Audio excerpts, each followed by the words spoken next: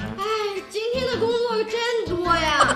哎，王小九，当老师就这样，习惯就好了。你挺好的，你也是老师，往这一坐，啥也不干。哎呀，咱俩负责的专业不是不一样吗？李龙老师，王老师不好啦！怎么了，李老师？着急忙慌的？有什么事慢慢说，咱们几个跟以前的身份不一样啊。班里那几个学岂有此理！反了他们了，请家长啊！我都说了，他们根本就不听。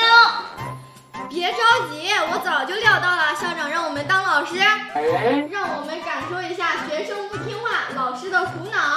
对，对什么对呀、你个马屁精！重点是现在该怎么办？其实很好解决的，我已经有办法了，跟我走啊！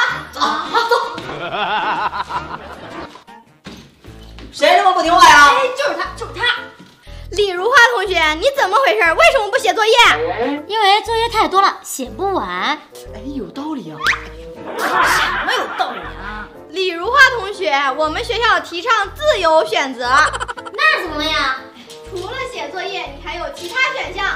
只要不写作业，你说，行，只要有一项成功，你就可以放学。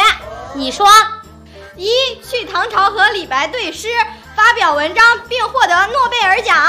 还要获得诺贝尔奖啊？这个太难。我听听下一个。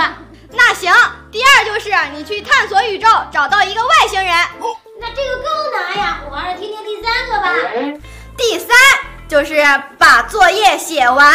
嗯，那我还是选第三个写作业吧。搞定一个，还有哪个学生呀？哎，拿拿拿拿拿，走。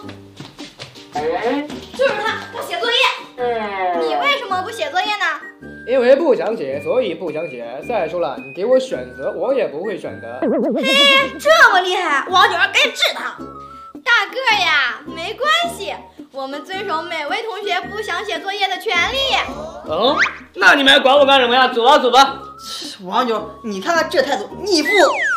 不想写作业，行啊，我这里有一篇非常好看的小说，给你分享一下。行行行，我看。哇，这个小说正好是我想看的。啊？怎么除了题目下面都是英文啊？那就不好意思了，你要想看的话，要好好学英语啦。啊，那你这样说我不学英语还不行了？当然啦，这可是我办的会员才能看的，会员还有一天就到期了。啊，那我赶紧学英语啊！搞定！我们走吧，